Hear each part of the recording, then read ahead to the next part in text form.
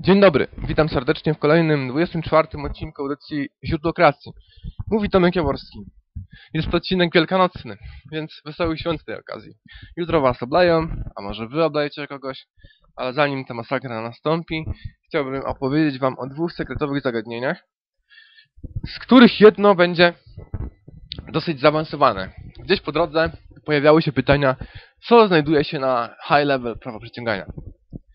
Innymi słowy, czym zajmuje się na co dzień człowiek, który jest bardzo, bardzo, bardzo, bardzo odmieniony. Sekret, tylko sekret odmienił, bo to tak niepozornie brzmi, a tam przyciągnij sobie rower, przyciągnij sobie kilka milionów, przyciągnij sobie um, Britney Spears, nową komórkę, cokolwiek, to tak niepozornie brzmi, ale nikt nie mówi o tym, co się z tobą stanie. Jeżeli kilka lat będziesz przyciągał, będziesz osiągał jakieś sukcesy, mniejsze, większe w tym przyciąganiu, nikt nie mówi, co się z tobą stanie po tych kilku latach. nie chodzi mi o to, że będziesz tam żył z tą Brytnej, że będziesz używał tej komórki, że ekran ci się porusuje lub nie.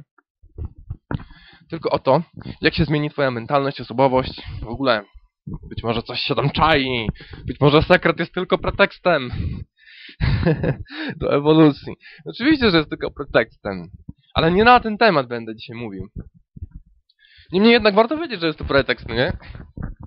Taki miły pretekst. Oferuje się tam dla nas, dla praktyków sekretu, takie marchewki na kiju. Z tą różnicą, że my te marchewki jak najbardziej możemy sobie dorwać. Tyle, że tam jak dorwiemy jedną z nich, to pojawia się następna i tak w kółko. A za naszymi plecami dzieje się tajemniczy proces metamorfozy duchowej. Więc my nie będziemy dzisiaj tego procesu omawiać globalnie. Nie, nie. Ale poruszymy um, jeden z efektów, jedno z następstw tego procesu. Tajemniczo brzmi? A już zaraz opowiem o tym, wszystko się wyjaśni. Ale mniej, mniej zaawansowanym zdecydowanie zagadnieniem, acz również istotnym w praktyce prawa przyciągania, będzie zagadnienie emocji w kontekście mentalności. Tak bardzo znane słowa, klucze, emocje i mentalność. Moi drodzy, dlaczego chciałbym poruszyć temat emocji w kontekście mentalności? Pojawiają się nie jeden raz wątpliwości dotyczące emocji. Um, przede wszystkim, kiedy oglądasz film Sekret, przedstawia się tobie taką koncepcję, iż oglądasz, e, iż powinieneś, powinnaś wizualizować, to znaczy warto wizualizować. I kluczem w tej całej praktyce wizualizacji jest odczuwanie emocji. Właśnie dlatego mówi się o tym, żeby twoja wizualizacja była jak najbardziej rzeczywista, żeby była jak najbardziej żywa, żeby była jak najbardziej przekonująca, świeża, rzeźka, whatever. Coś takiego. Masz stworzyć jak najbardziej doskonałą wirtualną rzeczywistość w swojej głowie. Jak się kładziesz wieczorem przed zaśnięciem, powiedzmy, i chcesz ten czas przeznaczyć na wizualizację, no to masz powyłączać tam sobie wszystkie te rzekomo prawdziwe, rzeczywiste, fizyczne zmysły twojego ciała i masz to przenieść w wirtualną rzeczywistość twojego umysłu, zaprzęgając mocno twoją wyobraźnię oraz kreatywność, żeby stworzyć przestrzeń, żeby stworzyć film, którego jesteś biernym obserwatorem lub aktywnym bohaterem, lub i to, i to jednocześnie. Film, w którego tworzeniu twoją główną ambicją jest, żeby jak najbardziej cię poruszył. Ciebie samego, ciebie samą. On ma jak najbardziej poruszyć widza, który jest jednocześnie bohaterem tego filmu. Ma być poruszający. Jak skończysz wizualizację, powiedzmy, nie wiem, zajęło ci to godzinę, tak, przed zaśnięciem, to już nie będzie ci chciało spać, bo będziesz tam miał, nie wiem, pot sobie wytrzesz z czoła, czy coś tam, ach, jak było, niesamowicie. Myślicie, że to żart, że to przerysowuję? Nigdy w życiu. To jest szczyt udanej wizualizacji. To jest tylko taka ściema, że przed zaśnięciem, że warto wizualizować. Tam się kryje taka pułapka, że jeżeli zrobisz naprawdę niesamowitą wizualizację, to ona może cię w przepiękny, przyjemny sposób ukoić do snu, ale może być wręcz przeciwnie. Może cię nakręcić i rozentuzjazmować w tak wysoki sposób, że nie będzie ci chciało spać. Więc jeżeli nie chcesz mieć problemów ze snem, a przynajmniej nie chcesz ryzykować wpadnięcia w bezsenność, wizualizuj kiedy indziej niż wieczorem, przed zaśnięciem. Tak. Ale dlaczego o tym mówię? Mówię o tym dlatego, że właśnie o to chodzi w wizualizacji. Um, tego dbania o szczegóły, tego dbania o realizm, o to, żeby twoja wizualizacja była przekonująca, wykorzystuje się jako pretekst. Pretekst do tego, żeby pojawiły się emocje. To jest takie proste, um, prosta metoda do otrzymania emocji, do tego, żebyś czuł, czuła to, co tworzysz w głowie. Bo nie chodzi tylko o to, żeby to zobaczyć, nie chodzi tylko o to, żeby to sprecyzować, um, żeby to zobaczyć oczywiście w 3D, um, żeby to poruszyć, e, jak teatrzyk kukiełkowy, e, tylko o to, żeby to poczuć. I jeżeli dobrze nam idzie, jeżeli udało się nam być konsekwentnym i systematycznym w praktyce wizualizacji, to każdego dnia, raz dziennie, raz na dobę będziemy mieli zapewniony taki zastrzyk intensywnych emocji. Raz na dobę będziemy rozentuzjazmowani w jak najbardziej właściwym kierunku i to będzie bardzo, bardzo, bardzo dobry zastrzyk. Zastrzyk energii twórczej w naszą własną jakąś tam główną intencję prawo przyciąganiową. Więc z czym problem w ogóle? Problem pojawia się wtedy, kiedy zadajesz sobie takie pytanie, no dobra, od 21 do 22 albo od 14 do 15, żeby nie ryzykować bezsenności, będę wizualizować. Um, I przez tą godzinę uda mi się odczuwać intensywne emocje, yy, uda mi się czuć ten entuzjazm, to wszystko, fajnie. Ale co dalej? Co ma być dalej? No bo Mam całą tą resztę um, rzekomo rzeczywistego mojego dnia, mojego rzekomo rzeczywistego życia. Mam te wszystkie zajęcia, mam to wszystko. Um, jak mam dbać o to, żeby przez resztę tego czasu czuć ten entuzjazm? No bo co? Przez tą godzinę zabiorę go i co dalej? On się będzie rozpływał po moim organizmie i działał, czy... Czy w ogóle co, co się będzie działo? Czy nie powinno być tak, że na przykład osoba, która znajdzie na przykład dwie godziny, albo na przykład ma lepszą pracę, która pozwoli jej na przykład pięć godzin wizualizować dziennie i odczuwać intensywne emocje, czy to nie będzie przypadkiem tak, że ta osoba będzie miała lepszą kreację od nas, no bo tam więcej węgla wróci do pieca, nie? Powiedzmy, no nie, niekoniecznie, moi drodzy. Eee, to może być potencjalnie dosyć dołujące, dlatego że wielu z nas nie możesz sobie pozwolić na notoryczne wizualizowanie, a nawet gdyby, no to komu się by chciało, powiedzcie, siedzieć tam w domu i wizualizować. W filmie pod tytułem Nieśmiertelny, a koniec gry, czwarta część to była, jeżeli oglądaliście, była taka scena, że tam główni bohaterowie, czy główny bohater tego filmu w pewnym momencie dał sobie spokój, żartobliwie mówiąc, z misją, którą realizował przez wszystkie trzy poprzednie części filmu i po prostu udał się do miejsca, które bodajże było zwane Sanktuarium i cała istota, cały sens tego miejsca polegał na tym, że oni się tam po prostu zamykali w czymś przypominającym kapsuły, jakieś łóżka metalowe, coś tam strasznie psychodelicznie to wyglądało. Oni się zamykali w tym, nie wiem, wstrzykiwali sobie coś żeby właśnie żyć we własnym świecie marzeń i to było strzeżone przez specjalne tam ich służby e, i to istniało po to, żeby po prostu odizolować się od tego całego życia i poświęcić się um, trwaniu, jestestwu. Nie wiem, czy oni mieli wtedy jakieś marzenia, wizje, jakiś alternative world life w sobie. Nie mam tego pojęcia, ale koncepcja była jasna. Zamykasz się, wyłączasz się z całego twojego życia, z całego twojego świata w jakimś tam innym celu, żeby żeby wejść w głąb siebie, powiedzmy. No więc wiadomo, no, że no, my nie używamy prawa przyciągania po to, żeby się odizolowywać, rezygnować z życia, tylko my używamy tego sekretu po to, żeby to życie upiększyć, usprawnić, ulepszyć. Więc nie chce nam się generalnie siedzieć i non-stop wizualizować, prawda? Nie mamy w tym nic złego. Ale skoro się nam nie chce, to nawet nie ma po co zadawać takiego pytania. Um, czy aby ja nie powinienem czuć tych emocji, tego rozentuzjazmowywania się non-stop, albo prawie. Czy, czy ten entuzjazm powinien być we mnie obecny stale lub prawie stale? Czy nie byłoby lepiej? Wiecie, może by było, ale dążę do tego, że jest to dosyć nierealne. A nawet jakby było realne, to moim zdaniem nie warto. Dlatego, że życie jest piękne. Rzeczywistość jest piękna, to co sobie możesz stworzyć jest piękne, ale też nie warto się tak zachłysnąć tym samym tworzeniem do tworzenia, no nie? Warto żyć. Więc jeżeli chcesz żyć, nie trać czasu zbyt wiele, znaczy to nie jest to czasu, ale może inaczej, nie inwestuj zbyt wiele czasu w wizualizację i entuzjazm. I nie martw się tym, że e, to jest tylko godzina, powiedzmy, intensywnych emocji na twojej dobie i później jest cała reszta. Problem możesz mieć. Owszem, możesz mieć z tym problem w jednym konkretnym przypadku. Kiedy um, twoja wizja, ta powiedzmy godzina w trakcie doby będzie swoją drogą, a cała reszta będzie bardzo, bardzo, bardzo, bardzo skrajną inną drogą. Co przez to rozumiem?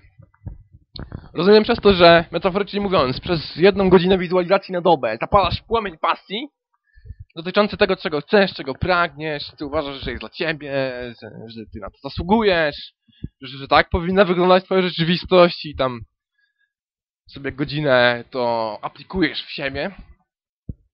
A pozostałe godziny, no to o, matko, znowu ta szara rzeczywistość i pełne, pełne, pełne full power zaangażowanie w tą szarą rzeczywistość, w brak, w brak, bo wszędzie gdzie patrzę te 3D, reality, szarej rzeczywistości już nie w moim umyśle, ale na zewnątrz, jak to się mówi, to rzekomo prawdziwa rzeczywistość fizyczna. Patrzę na to wszystko wokół, żyję moim życiem, żyję moją codziennością i na każdym kroku widzę napis BRAK! Brak, czyli nie mam tego, nie mam tamtego, pracuję tutaj, a nie tam, zarabiam tyle pieniędzy, a nie tyle, mam takie konto, a nie takie taki dywan, a nie inny. Tutaj to tam w nieskończoność można wymieniać, ale wszędzie, rozumiecie co mam na myśli? Wszędzie widzę napis brak metaforyczny. Tak jak w niektórych horrorach wchodzi główny bohater do jakiegoś pomieszczenia i widzi jakąś tam czarną farbą napisane na ścianie jakiś napis. Oni żyją! Później wchodzi jego kumpel i patrzy, no to ściana jest przecież biała. Tam nic nie ma, no. A ty jako praktyk sekretu wchodzisz gdziekolwiek, w zakładzie pracy, w twojej agencji reklamowej, w której pracujesz, czy w ciastkarni, w piekarni, na ulicy, grasz na boisku w siatkę i widzisz wszędzie na betonie, na ścianach napisane na suficie brak, nie mam tego. No i co z tego, że od 21 do 22 poświęcasz się twojej wizualizacji. Jest ci pięknie, tak błogo. Oglądaliście serial V? V Goście. Taki psychodeliczny, mroczny serial o obcych. Tam pojawił się jeden bardzo ciekawy motyw. Królowa obcych, najeźdźców, którzy przyjechali na ziemię i udają, że są przyjaźni ludzkości. Ma taką moc, żeby um, udzielać swoim poddanym błogości. To polega na tym, że ona sobie tam się skupia, koncentruje i nagle pstryk i wszyscy jej poddani, gdziekolwiek są, na jej statku, na innych statkach, na ziemi, gdzieś sobie łażą, tam wpadają w taki... zatrzymują się przede wszystkim i wpadają w taką błogość. Matko, i nic już nie chcą robić, nic już pewnie nie potrzebują, jest pięknie, są w raju. Podobno taki stan jest, jak jesteś w śmierci klinicznej, czy coś w tym stylu. A ludziom nie chce się wracać, no bo tam jest tak pięknie. Więc, więc, więc, więc, hmm. Fajnie, masz tą godzinę, wróćmy do tej godziny, masz tą godzinę twojej błogości na dobę, godzinę wizualizacji, która zapewnia ci tę błogość, zapewnia ci, zapewnia ci te, te dobre emocje, zakładając, że już naprawdę dobrze ci idzie z tą wizualizacją, to możesz naprawdę świetnie się czuć w trakcie tej godziny, prawda? Tylko, że ładunek emocjonalny, czy mentalny, czy duchowy, auryczny, częstotliwości, ładunek tego wszystkiego, który wypływa, wygenerował się przez tą godzinę twojej wizualizacji, może sobie nie poradzić, jest takie ryzyko, może sobie nie poradzić z tym natrętnym ładunkiem pozostałych godzin twojej codzienności. Dlaczego możesz sobie z tym nie poradzić? Dlatego, że o ile w trakcie tej godziny, twojej wizualizacji angażowałeś całego, całą siebie, żeby poczuć to piękno tego, na co zasługujesz. Jesteś tego warta. Czy jesteś tego warty?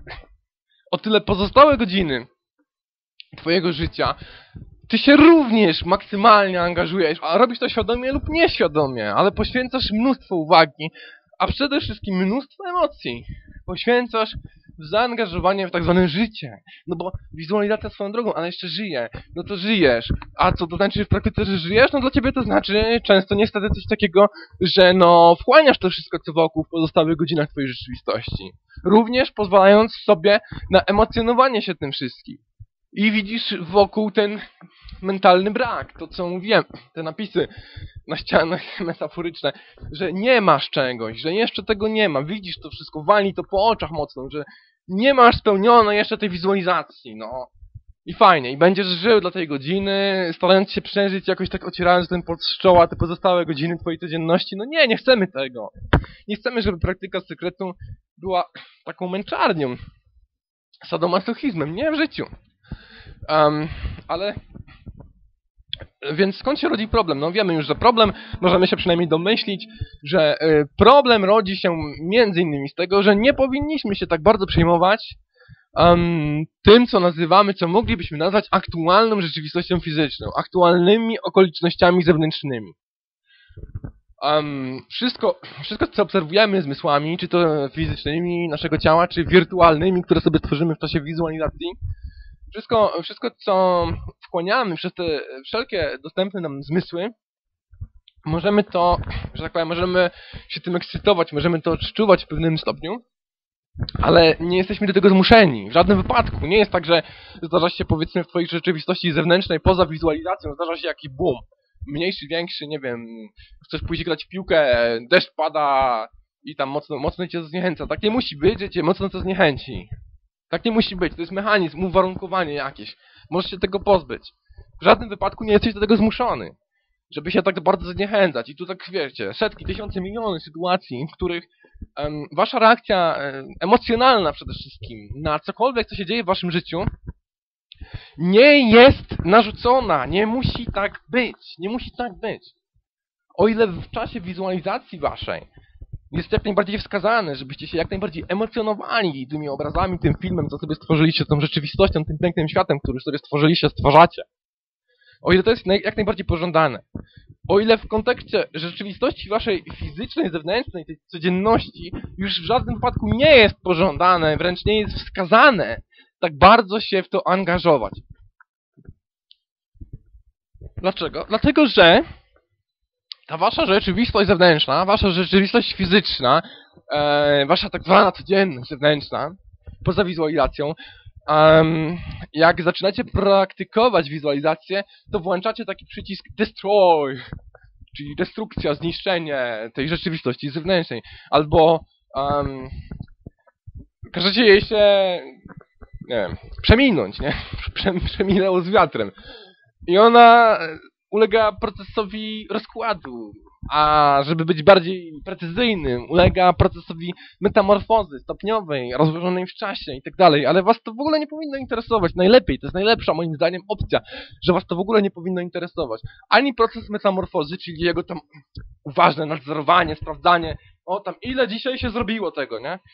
Um, tej metamorfozy, czy tam patrzę wstecz, dwa miesiące upłynęło od praktyki mojej wizualizacji, oglądam się i ile tam, no, przyszłem, jak konduktor, zbadać bilety, przyszłem i chcę ocenić, ile minęło, ile się udało zrobić. No nie, słuchajcie, nie warto, nie warto zawracać sobie tym głowy, bo to jest kolejny punkt odniesienia gdzie przywiązujecie wagę do swojej pierwszorzędnej rzeczywistości. To nie powinna być pierwszorzędna rzeczywistość, pierwsza planowa, to nie powinno być najważniejsze.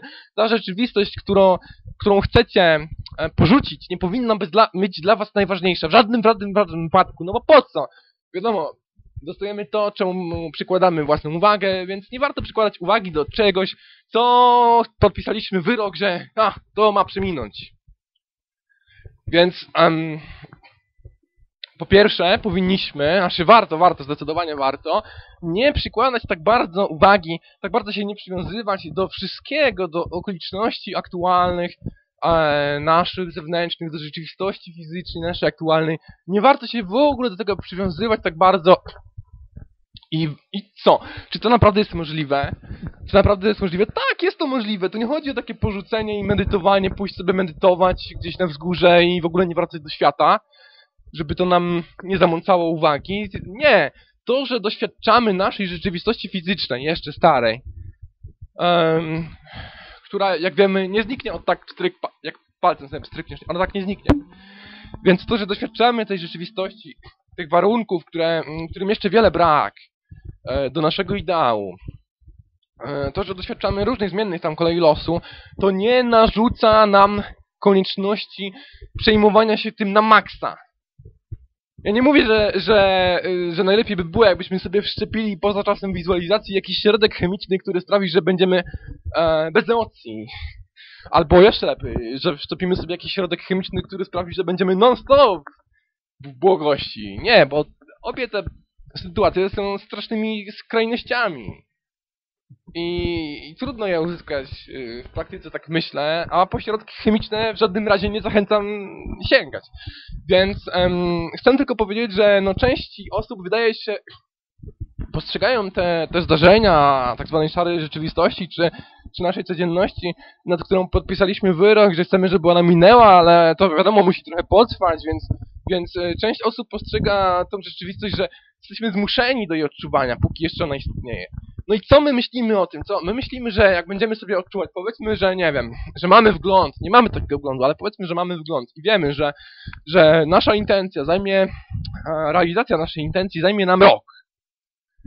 E, no i co? Wiemy, że realizacja naszej intencji zajmie nam rok. Um, no i przez ten rok emocjonujemy się i, i przejmujemy naszą dotychczasową rzeczywistością i koncentrujemy na niej naszą uwagę, przede wszystkim uwagę emocjonalną, czyli jak się dzieją tam jakieś tam wichry namiętności, też tej negatywnej, jakieś tam zdarzenia koleje losu, coś tam się nam nie podoba, jakieś braki dostrzegamy, niedoskonałości, to wszystko to odczuwamy wewnątrz w sercu. Przez ten cały rok odczuwamy to jak wcześniej, całe życie odczuwaliśmy. Na bazie tego braku byliśmy w stanie zdefiniować nasze cele, więc nadal to odczuwamy, chociaż już rozpoczęliśmy praktykę, ale odczuwamy zwykle. Przez ten rok odczuwamy te braki, to wszystko, te niedoskonałości. I co myślimy o tym? Myślimy, że odczuwając przez cały rok, przez większość czasu, te nasze braki, pozwalając yy, niedoskonałości naszej rzeczywistości fizycznej wpływać na nas emocjonalnie, myślimy, że po roku zmieni się nagle tak pyk, stryczek się zrobi i nagle stan naszego umysłu się świeci i zmieni się nasza rzeczywistość. Nie. Przede wszystkim pierwsza kwestia, bardzo, bardzo ważna w praktyce sekretu, to jest przestań być niewolnikiem własnej teraźniejszości tak zwanej, zewnętrznej. I powtarzam, nie chodzi o to, żebyś stał się, stała się nieczułą na wszystko osobą, zminimalizowała emocje do zera dotyczące wszystkiego. Nie chodzi o to, że jak, nie wiem, ee, no co, no nie będę wymyślał jakichś strasznych, czarnych sytuacji, ale nie chodzi o to, że jak coś się złego stanie w twoim życiu, smutnego, pesymistycznego, nie chodzi o to, żebyś e, śmiał, śmiała się do tego, nie chodzi o to, żebyś e, nie miał, nie miała żadnych emocji względem tego. Chodzi tylko o to, żeby te emocje, tą ilość emocji, jakie względem tego masz, minimalizować. Żeby to nie było już tak, tak centralne, wiecie, żeby to nie było mm, rządzące, główne, żeby nasza rzeczywistość fizyczna, nasza rzeczywistość zewnętrzna nie kierowała nami w 100%, żeby nie było tak, że poza godziną naszej wizualizacji będziemy całkowitymi niewolnikami okoliczności zewnętrznych. Tej rzeczywistości, która ulega metamorfozie w czasie. To nas opóźnia, to jest sytuacja, w której sami siebie hamujemy kiedy przywiązujemy bardzo, bardzo dużą wagę, kiedy bardzo się emocjonujemy tym wszystkim wokół, co jeszcze wokół nas jest, co jeszcze wokół nas postrzegamy. Stwierdzamy niedoskonałości, stwierdzamy braki i to nas boli. I to, że nas to tak bardzo potrafi boleć i to, że tak bardzo na co dzień potrafimy być tego świadomi, nie jest w żadnym wypadku nam na rękę w kontekście naszej praktyki prawa przyciągania. Nawet jeśli tą godzinę na dobę poświęcimy na jakże wspaniałą, udaną, efektywną wizualizację, to przejmowanie się całą resztą naszego życia, która jeszcze sobie istnieje, jeszcze ją widzimy, nie jest nam na rękę. Możemy nadal, owszem, żyć normalnie. Jaka jest wskazana podstawa? Możemy nadal żyć normalnie ale możemy mieć w umyśle tą świadomość, że to wszystko wokół to już nie jest najważniejsze. Bo to wszystko wokół to jest efekt, następstwo, a nie źródło. Czego efekt? Czego następstwo? Naszych własnych odczuć. Więc za każdym razem, kiedy czujesz się zdołowany, za każdym razem, kiedy czujesz się smutna, za każdym razem, kiedy czujesz się sfrustrowany, za każdym razem, kiedy czujesz się zawiedziona twoimi aktualnymi okolicznościami zewnętrznymi, twoją aktualną, fizyczną rzeczywistością, to tworzysz sobie tego więcej. Pomimo tego, że tą godzinę na dobę wizualizujesz. To zwróćcie uwagę na ten trik, że nawet jeśli potrafimy mocno absorbować się w nasze wizualizacje i mocno wychodzić z tych wizualizacji szczęśliwi, to bywa nierzadko tak, że biernie, niejako z marszu, mocno angażujemy się emocjonalnie też w całą resztę naszego życia. I to jest, to jest pierwsza rzecz, której warto zdecydowanie się pozbyć, zminimalizować, zrzucić na dalszy, dalszy, dalszy, dalszy plan. Ale wróćmy sobie do emocji. Emocje w kontekście mentalności. Um, bo jak już y, mówiłem, pojawia się czasem taka wątpliwość, czy aby nie byłoby lepiej, gdyby przez większość życia mieć ten stan błogości, przez większość każdego dnia mieć ten stan błogości. I tak jak y, powiedziałem, teoretycznie mogłoby być lepiej, ale w praktyce nie jest to zbyt realna sytuacja, nie jest to nawet zbyt pożądana sytuacja, dlatego że mogłaby nas odizolować od tego życia, a w końcu praktykujemy sekret po to, żeby żyć, żeby żyć lepiej, żeby żyć przyjemniej, a nie po to, żeby się zamykać w celi mnicha i kontemplować nasze wizje, czy kontemplować naszą bogość. Na to wszystko, na kontemplowanie naszej własnej błogości będziemy jeszcze mieli czas, jeżeli ufać, wierzyć tym e, koncepcjom, że tam czujesz błogość po, e, no, po śmierci ciała, no to fajnie, doznamy to zawsze, wszyscy doznamy tego, nie jesteśmy nieśmiertelni fizycznie. Więc doznamy tego, mamy to zapewnione, nie musimy się tym przejmować, nie musimy tego wizualizować, mamy, doznamy tego.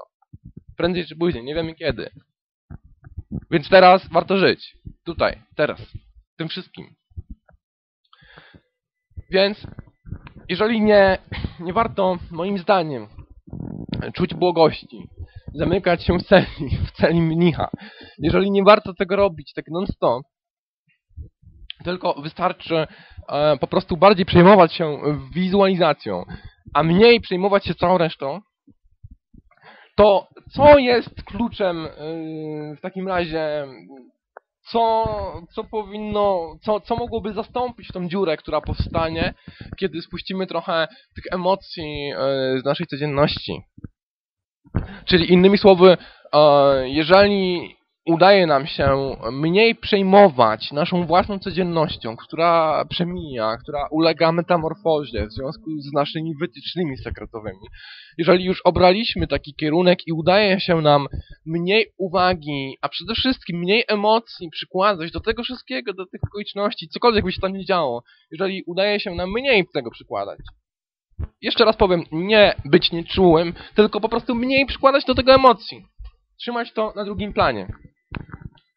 To co może zastąpić to puste miejsce, jakie powstało nagle z tego, że zmniejszyliśmy ten poziom emocji. Może zastąpić to puste miejsce, piękne słowo klucz, bardzo intensywne, bardzo twórcze. Drugie obok emocji, mentalność. Mentalność, moi drodzy. Zerknę sobie na słownik języka polskiego w internecie. Nie wiem, jak on jest bardzo wiarygodny. Zresztą do słowników się nie przywiązuje zbytnio, przyznam. Ale akurat ten słownik sobie znalazłem. Podaje opis mentalności i znaczenia słowa mentalność jako charakterystyczny sposób myślenia wyróżniający daną osobę lub grupę społeczną na tle innych. No, to tu przywalili teraz. Bo mi nie chodzi wcale o to, że masz się wyróżniać, że, że twój sposób myślenia ma cię wyróżniać. Nie. Przecież możemy mieć podobne cele, nie? Ty możesz chcieć mieć Ferrari, ja mogę chcieć mieć Ferrari, będziemy mieli podobną mentalność i co? Nie chodzi o to. Um, ale sposób myślenia jest tu kluczem. Bo zwróćcie uwagę, ja bym nawet tam ym, definicję mentalności w moim rozumieniu, w sekretowym rozumieniu rozszerzył i powiedziałbym, że jest to ym, sposób myślenia, twój sposób myślenia, jaki zwykle masz, jaki zwykle praktykujesz. I tutaj słowo zwykle powinno być pogrubione i podkreślone, bardzo wyróżnione. Sposób myślenia, jaki zwykle praktykujesz, jaki zwykle masz. Twój sposób myślenia, jakim operujesz na co dzień. Nie tyle w trakcie wizualizacji, która jest w takim czy innym stopniu dla ciebie bądź co bądź okazjonalna, tylko sposób myślenia, którym operujesz zwykle. A więc w kontekście całej tej niedoskonałej rzeczywistości fizycznej, gdzie są te braki, gdzie, jak już mówiłem, jest ta niedoskonałość. W kontekście całej tej rzeczywistości fizycznej, zewnętrznej, tych wszystkich okoliczności, których hmm, powiedziałem, że względem których warto zmniejszyć, zminimalizować ten poziom przejmowania się tym, poziom emocjonalnego odczuwania, emocjonalnej interpretacji.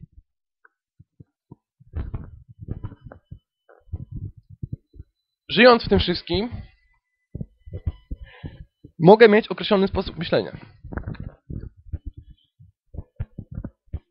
I co może się w tym sposobie myślenia znajdować? Przede wszystkim to, o czym już wspomniałem, czyli swoiste przewartościowanie. Jako człowiek sekretu dokonujesz, możesz dokonywać przewartościowywania swoistego rzeczywistości. I to mniej, już mniej więcej wchodzimy w drugie zagadnienie dzisiejszej audycji. Przewartościowanie. Przewartościowanie rzeczywistości, gdzie mamy jedną rzeczywistość, to jest ta rzeczywistość zewnętrzna, rzeczywistość fizyczna, twoje dotychczasowe okoliczności, niedoskonałe, pełne braków. Ale mamy też tą rzeczywistość twoją piękną, wizualizacyjną. Ja to też nieraz nazywam rzeczywistością wizyjną czyli tą rzeczywistością, którą przerabiamy w wizjach, którą emocjonujemy się i przeżywamy całym, całą sobą w wizjach. Więc mamy tą rzeczywistość wizyjną. Czyli mamy dwie rzeczywistości. I zwykle, jako ludzie, przedstawiciele gatunku ludzkiego, um, mieliśmy tą rzeczywistość fizyczną. Tą rzeczywistość, w cudzysłowie, zewnętrzną, na pierwszym planie naszego jestestwa. I to było normalne, to było oczywiste. To nawet dla wielu z nas do dzisiaj jest oczywiste, niestety. Że to ta rzeczywistość jest pierwszoplanowa.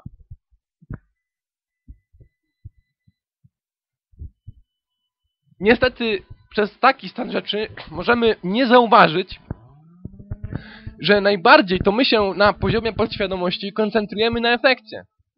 I znowu wpadamy w ten zamknięty krąg, o którym powiedziałem już wcześniej dzisiaj czyli o tym kręgu tworzenia, tworzenia, tworzenia over and over w kółko efektu niedoskonałego. Bo mamy jakiś niedoskonały efekt, który skłonił nas do stworzenia naszej sekretowej intencji. Czyli innymi słowy mówiąc to samo. Mamy niedoskonałą naszą aktualną rzeczywistość, która jak wiemy z sekretu jest efektem, nie źródłem, jest efektem czegoś. I mając ją na pierwszym planie naszego jestestwa, pozwalając jej, żeby była na pierwszym planie naszego jestestwa, nawet na poziomie podświadomości, biernie, że tak powiem, możemy sobie nawet z tego nie zdawać sprawy, że przywiązujemy do tego wagę na pierwszym planie, a więc przywiązujemy wagę na pierwszym planie do efektu, do niedoskonałego efektu, tworząc jego więcej. Co prawda to nie jest takie straszne i to nie jest takie demoniczne mocno, że że to nam skasuje wszystkie inne praktyki. Ale to na pewno nam nie pomaga, wręcz przeciwnie, to nas hamuje w jakimś stopniu. My możemy osiągać sukcesy nadal, nie, mając na pierwszym planie naszą rzeczywistość fizyczną, dlatego że e, budujemy pewną konkurencyjną siłę, budujemy pewien konkurencyjny ładunek w wizualizacjach, wytyczamy te emocje, to wszystko i to ma bardzo dużą moc już samo w sobie. E, to, czym emanujemy w trakcie tej przysłowiowej, powiedzmy, godzinnej wizualizacji, to ma dużą moc. I możemy sobie żyć swoim życiem i nie interesować się przewartościowywaniem rzeczywistości. Ale chcę powiedzieć, że jeżeli zaczniemy e, mniej przejmować się tą rzeczywistością zewnętrzną, mniej przejmować się tą rzeczywistością fizyczną, zmiennymi kolejami losu w tej rzeczywistości zewnętrznej naszej, w tej naszej dotychczasowej codzienności. Jeżeli zaczniemy się mniej tym przejmować, mniej wagi do tego przywiązywać, mniej emocji do tego przywiązywać, po prostu mniej, odrobinę, później jeszcze odrobinę, jeszcze odrobinę i za dwa lata okaże się, że masz już bardzo dużo dystans do tego. Jeżeli będziesz to konsekwentnie praktykować. Jeżeli, jeżeli będziemy to robić, chcę powiedzieć, że jeszcze bardziej sobie znacznie polepszymy naszą efektywność praktyki prawa przyciągania w życiu. Dlatego, że zrobimy w naszym umyśle, w naszej duszy, w naszym odczuwaniu, w naszym sercu, w naszych emocjach więcej przestrzeni na to, co naprawdę istotne, na to, czego naprawdę chcemy. A cała reszta tak nie warta uwagi, niedoskonałości, to nie jest warte uwagi, braki nie są warte uwagi, zmienne koleje losu nie są warte tak dużej uwagi. To wszystko nie będzie już tak mocno zakłócało naszego strumienia kreacji. Nie będzie aż tak dużego szumu tak czy owak, powtarzam, my przez ten szum możemy się przebić, ale jeżeli zminimalizujemy ten szum, to jednocześnie zmaksymalizujemy efektywność własnej praktyki sekretu. Właśnie o tym chcę wam powiedzieć.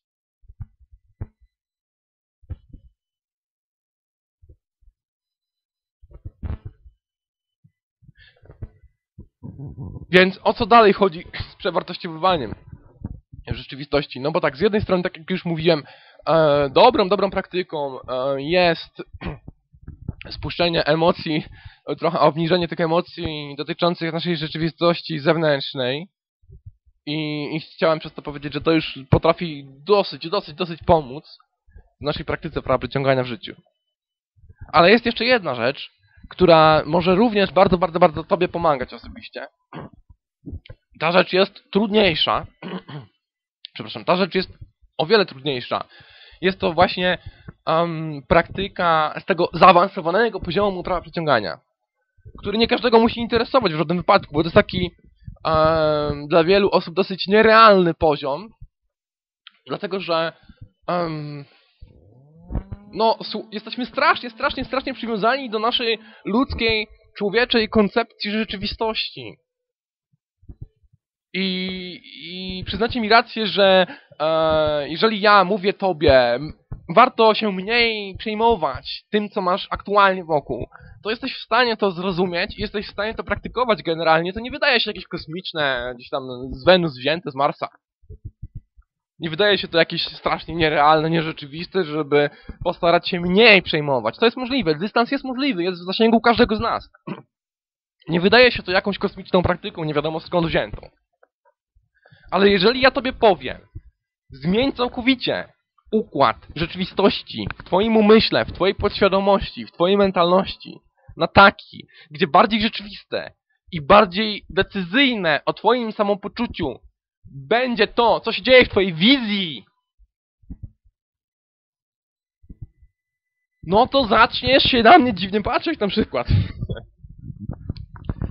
Bo myśląc nad tym głębiej, to ja tak naprawdę mówię tobie, zacznij żyć w twoich myślach bardziej niż na co dzień. No i tutaj pojawiają się błędne interpretacje. Jakież ryzyko duże pojawia się błędnych interpretacji. Zaraz sobie można pomyśleć, no to o co chodzi, zamiast żyć, będę sobie tam chodził w, w chmurach, wizualizował na co dzień, walnę w latarnię przez to gdzieś tam, bo się zapatrzyłem oczami duszy, wizję. Nie, nie o to chodzi, moi drodzy. W żadnym razie. Chodzi o to, o ciąg dalszy tego minimalizowania przejmowania się. Zaczynamy od tego dostępnego dla wszystkich dystansu, praktyki dystansu. Czyli od y, tego, o czym opowiadałem, czyli staraj się mniej przejmować twoim aktualnym życiem zewnętrznym. Twoimi aktualnymi okolicznościami zewnętrznymi, niedoskonałościami fizycznego życia itp. Staraj się mniej tym wszystkim przejmować. To jest w zasięgu każdego z nas.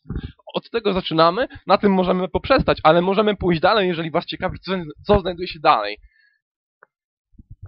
To idąc dalej, możemy um, nadal żyjąc przez większość czasu w, w tej naszej rzeczywistości zewnętrznej, którą już się mniej przejmujemy, mamy do niej większy dystans, nadal żyjąc w tej rzeczywistości, angażując się w tą rzeczywistość, oczywiście w mniejszym stopniu, tak jak mówiłem, czyli z tym dystansem, możemy nadal żyjąc w tej rzeczywistości mieć w głowie, w naszym umyśle, w naszych odczuciach, w naszej mentalności coś znacznie bardziej ważnego, decyzyjnego, ważniejszego, realnego.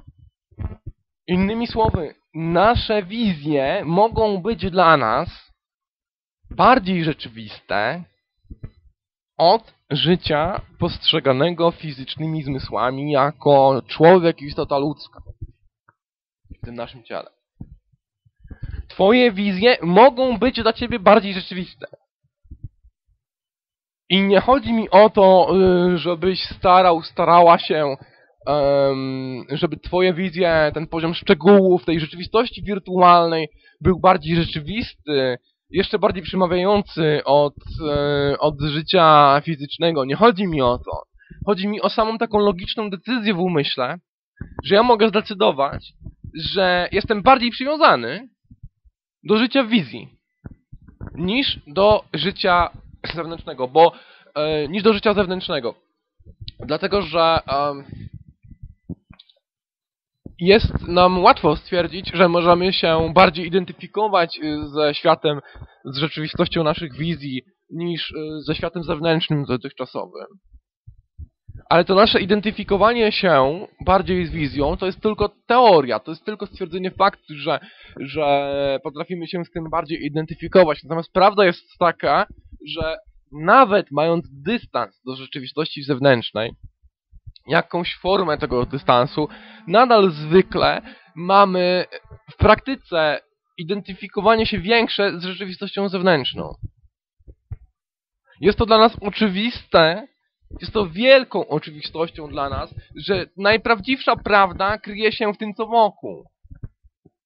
W tym, co widzę oczami fizycznymi, w tym, co uszami słyszę, w tym, czego doznaję jako ciało. To jest najprawdziwsza prawda. I trudno nam, wydaje się, że trudno nam zmienić tą postać rzeczy, dlatego że gdy stykamy się po raz pierwszy z sekretem, to mamy do czynienia z takim prostym schematem. Jak przyciągnąć sobie na przykład wieżę hi-fi? Wieża hi-fi to jest przedmiot z rzeczywistości fizycznej, Wszystko dotyczy więc ulepszenia świata w rzeczywistości fizycznej. I sięgamy po praktykę sekretową jako narzędzie, które ma nam poprawić centrum naszego wszechświata, czyli naszą rzeczywistość fizyczną. I ograniczamy się do emocjonowania wizją wieży hi-fi, wracając później do naszej codzienności, do której możemy się i staramy się, zresztą jest to nam na rękę, rzekomo dystansować się do tego. Czyli dystansować się do braku tej wieży, jeżeli jej bardzo pożądamy, więc odczuwamy też najprawdopodobniej bardzo jej brak. Może nas boleć to, że jeszcze tej wieży nie mamy, więc staramy się do tego dystansować. Koncentrować bardziej na tym, odczuwaniu tej wieży hi-fi, posiadania tej wieży hi-fi, emocji płynących z posiadania i używania tej wieży hi-fi w wizjach. Staramy się koncentrować bardziej na tym, co wypływa z tej naszej wizji wieży hi-fi niż na całym jej braku w rzeczywistości fizycznej. Niemniej jednak w naszej podświadomości nadal jest zakorzenione bardzo często jeszcze to przekonanie, że ta rzeczywistość fizyczna, do której tak staramy się dystansować, którą tak staramy się nie przyjmować bardzo, jest nadal na pierwszym planie. I tam gdzieś nadal na, najprawdopodobniej czai się w nas taki mały, e, złośliwy człowieczek, który mówi, no obejrzyj się, obejrzyj się, sprawdź, czy ta wieża już jest, sprawdź, jak jest blisko, sprawdź, czy pojawiły się już może jakieś okoliczności, jakieś szanse uzyskania tej wieży, no sprawdź to, sprawdź to, sprawdź to. I od czasu do czasu taki człowieczek złośliwy się raz pojawia. I to jest e, ta zaawansowana praktyka prawa przyciągania, tak bardzo zaawansowana praktyka prawa przyciągania, której nie zalecam wszystkim. Może ona niektórych z Was zainteresować. Ja jej nie zalecam wszystkim i nie uważam, że każdy powinien ją praktykować. ale taka praktyka istnieje, warto o niej wspomnieć dla ciekawości. Ta bardzo zaawansowana praktyka sekretowa polegająca na przewartościowaniu rzeczywistości polega na unicestwieniu tego małego, złośliwego człowieczka, który nadal gdzieś tam w nas potrafi być.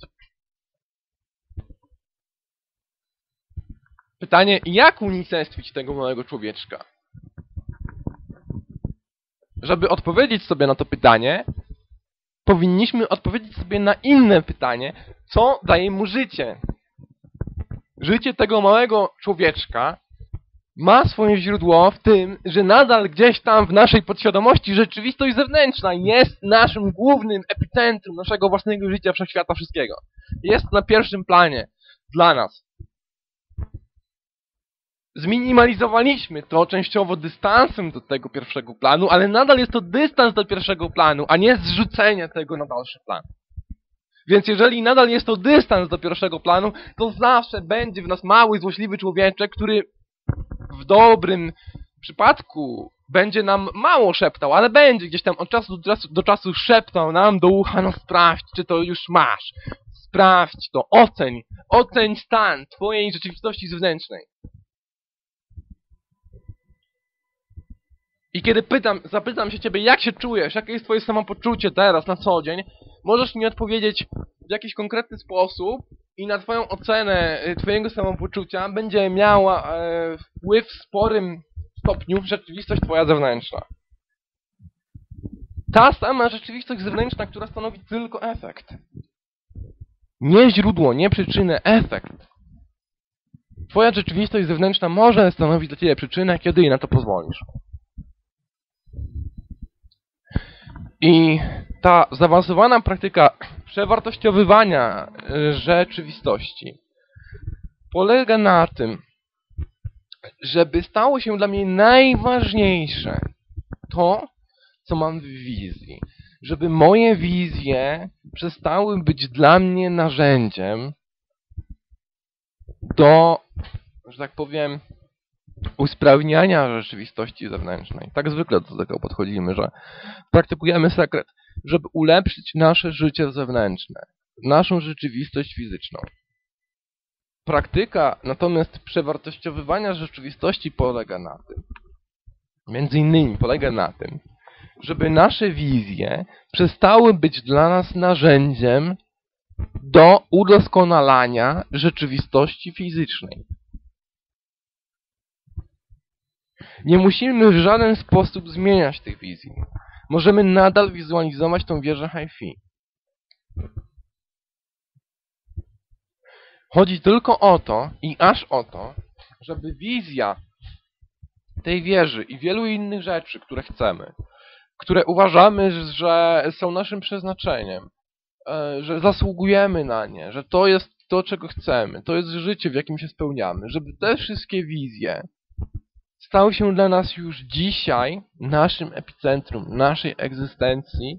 Rozumiem przez to, żeby stały się naszym stylem życia. I powtarzam, nie musimy zmieniać niczego z praktyki. Tu chodzi tylko o pogląd mentalny, jak do tego podchodzimy. Nadal możesz wizualizować godzinę na dobę i dystansować się do całej reszty. W części ale twoje wizja w tym ujęciu to jest subtelna zmiana, prawie niedostrzegalna gołym okiem, ale jakże istotna zmiana. Że twoje wizje w tym ujęciu nowym nie są już narzędziem tylko. Narzędziem służącym czemuś większemu, czyli rzeczywistości fizycznej. Tylko jest wręcz odwrotnie. Twoja rzeczywistość fizyczna służy Twoim wizjom, a więc Twoje wizje są Twoim pierwszym planem. I nigdy w tym ujęciu nie będzie dla Ciebie pierwszym planem rzeczywistość fizyczna. Rzeczywistość fizyczna będzie dla Ciebie tylko konsekwencją, następstwem, kropką nad i. Bo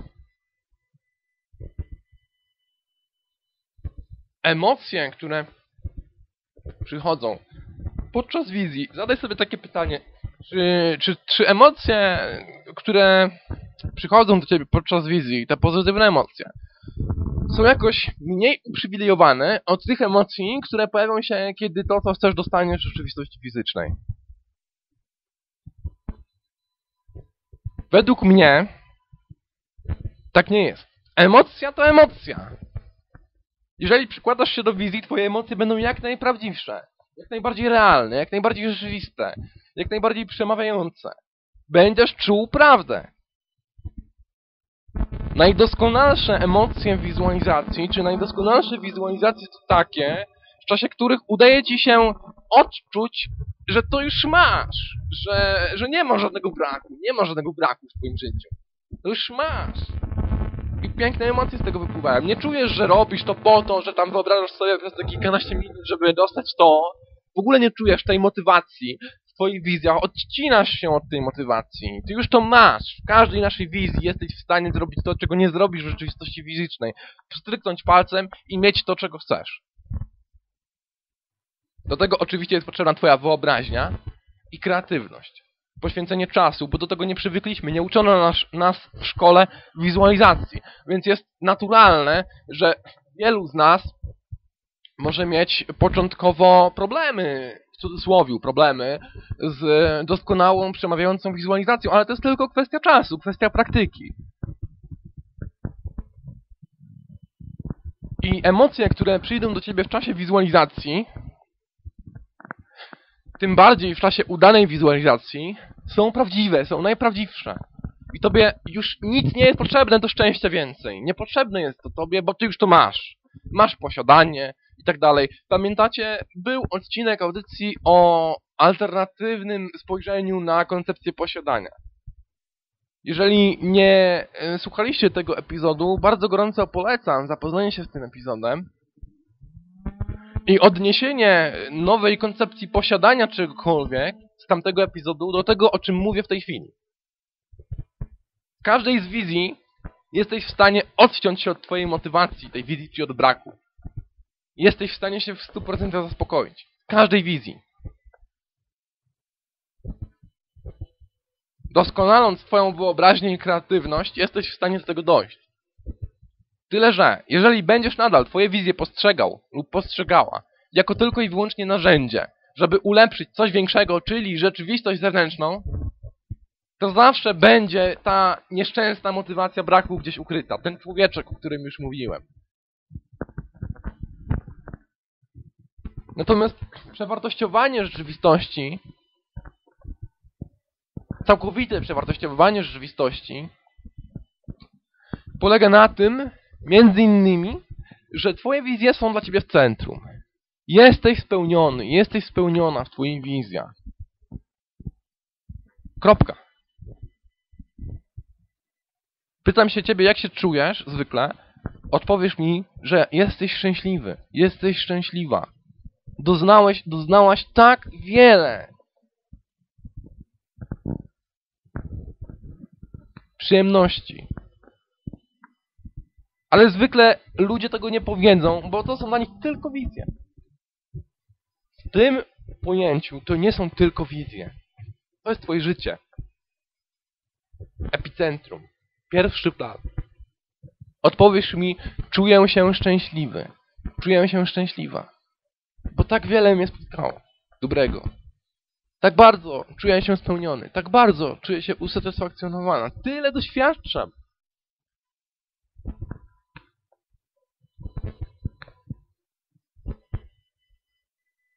Wizje, w których tak naprawdę możesz tworzyć nie tyle pojedyncze przedmioty, pojedyncze okoliczności twojego życia, jak je całe. Wizje, które nie będą już nigdy więcej łatkami na twoją rzeczywistość fizyczną. Na twoje dotychczasowe, codzienne życie. Tylko będą tym twoim dotychczasowym, codziennym życiem w które będziesz wchodzić podczas każdej z tych godzin jedna godzina na dobę. A względem całej reszty, co to będzie cała reszta? Cała reszta to będzie tak jak sen. Efekt, cień, kropka nad i. konsekwencja. W żadnym wypadku nie będzie to coś, co jest centrum, co jest najważniejsze. Możesz nadal tym żyć, możesz nadal się w to angażować. Z dystansem. A najważniejsze dla ciebie może być to, co masz wewnątrz, co masz w umyśle, co masz w wizjach, te emocje, źródła tych emocji. Nigdy w tej praktyce więcej, w ogóle nigdy w tej praktyce nie chodzi o to, żeby uzyskać cel fizyczny. Owszem, ten cel fizyczny uzyskasz, ale twoje szczęście, twój komfort, wszystko nie będzie już zależało albo tak bardzo, albo w ogóle nie będzie zależało od tego efektu fizycznego. Dlatego, że ty jesteś w stanie czuć się w pełni komfortowo w twojej wizji.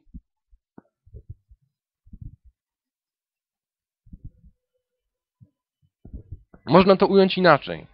Chcę się czuć w pełni komfortowo, co robię? Mogę wizualizować, żeby mieć życie takie, a takie, żeby czuć się w pełni komfortowo, życie zewnętrzne. A mogę podejść do tego inaczej. Mogę wizualizować tak bardzo, żeby czuć się w pełni komfortowo w wizjach i uznać to za moje pierwszoplanowe życie. To uznać za moją prawdę. To uznać za mój pierwszy plan.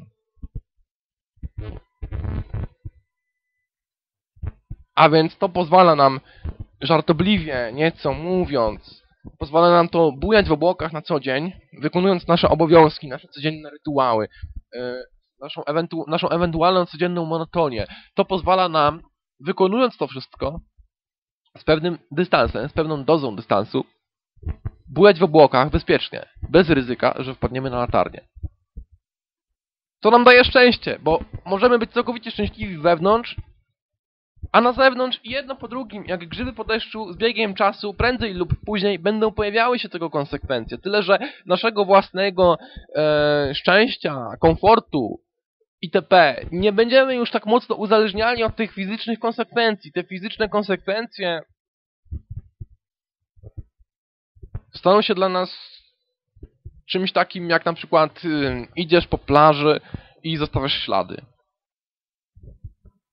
I te ślady na piasku to będzie twoja rzeczywistość zewnętrzna, rzeczywistość fizyczna. Ślady na piasku. A ty będziesz osobą, która te ślady pozostawia a nie będziesz śladami, etc.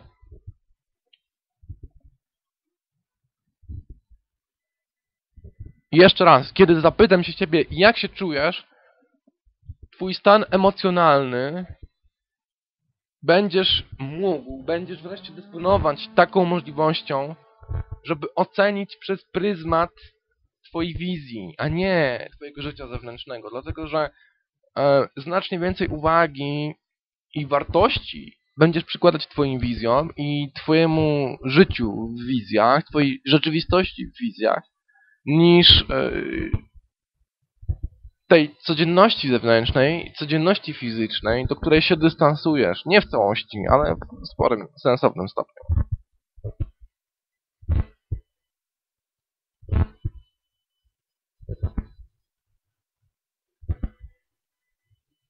Więc jeżeli twoje wizje, twój świat, twoje życie w wizjach jest w stanie sprawić, że kiedy spotkamy się, ja z tobą i zapytam się ciebie, jak się czujesz,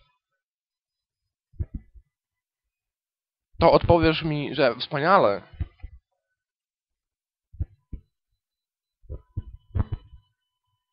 Nie dlatego, że w rzeczywistości fizycznej coś tam się super mega ekstra stało. Tylko dlatego, że masz przewspaniałe życie wewnątrz. I osiągnąłeś ten etap, kiedy rzeczywistość fizyczna nie porusza cię już tak bardzo. Kiedy jesteś, jest dla ciebie efektem, którym jesteś w stanie się delektować. Ale nie jest to efekt decyzyjny. Nie jest to efekt główny, nie jest to efekt najważniejszy. Nie jest to najważniejsze coś. To jest tylko efekt, cień, ślad na piasku, którym jesteś w stanie się delektować. Ale które nie jest źródłem, nie jest epicentrum źródła twojego szczęścia, komfortu i tym podobnych pozytywnych emocji, pozytywnych stanów. Jeżeli jesteś mi w ten sposób w stanie odpowiedzieć, osiągnąłeś, osiągnęłaś tą zaawansowaną praktykę prawa przyciągania. I ta praktyka jest taka nieziemska, kosmiczna, żartobliwie mówiąc, dlatego że ona bardzo, bardzo dużo zmienia. Ona zmienia postrzeganie nie tyle na wizję, na, co na całe, całe życie. Jest praktyką, która jednocześnie nie zrzuca na nas ryzyka wpadnięcia na latarnię, tak jak mówiłem, podczas bujania w obłokach. Możemy nadal sobie żyć częściowo tym naszym życiem fizycznym. Ale najważniejsze, to co dla nas najważniejsze, znajduje się zupełnie gdzie indziej. I wtedy ta rzeczywistość fizyczna staje się automatycznie niejako i jeszcze bardziej, znacznie bardziej poddana naszym wizjom. Dlatego, że nie ma już tej, tego mocnego sprzężenia, łańcuchów, które nas przykuwają do tej rzeczywistości fizycznej i nakazują nam mierzyć nasze własne szczęście jej kształtem, jej formą. Sekret wskazuje nam ducha, myśl, emocje. Tutaj, tutaj, tutaj znajduje się coś istotnego. A w tej praktyce bierzemy to na maksa i robimy z tego nasz cały świat. Wszechświat. Pierwszy plan.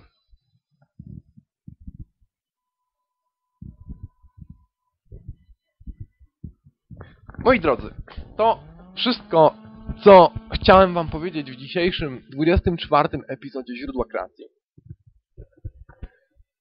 Rozmawialiśmy o mentalności, o emocjach, o przewartościowywaniu rzeczywistości możliwym do realizacji.